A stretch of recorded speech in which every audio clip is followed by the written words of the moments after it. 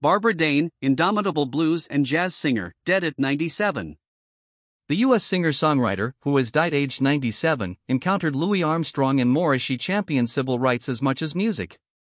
In her final interview conducted last week, she explained why she was still angry.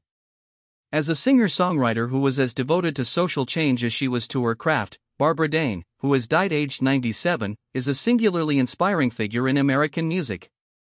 Amid a crop of reissues and a new film, I spoke to her just last week over the phone as she was cared for in a home hospice in Oakland, California, due to heart disease. As a singer, songwriter, and activist over almost 80 years, finding kinship with everyone from Bob Dylan to Louis Armstrong, she demonstrated formidable quantities of courage and compassion, as documented in that new film, The Nine Lives of Barbara Dane. This is the end, Dane said when I tentatively asked how she is. I struggle to breathe.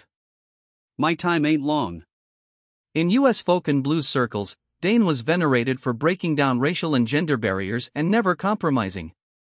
She's always been a role model and a hero of mine, musically and politically, Bonnie Raitt, one of Dane's many famous admirers, has said. A Dylan blurb graces the cover of her 2022 autobiography. Barbara is someone who is willing to follow her conscience. She is, if the term must be used, a hero.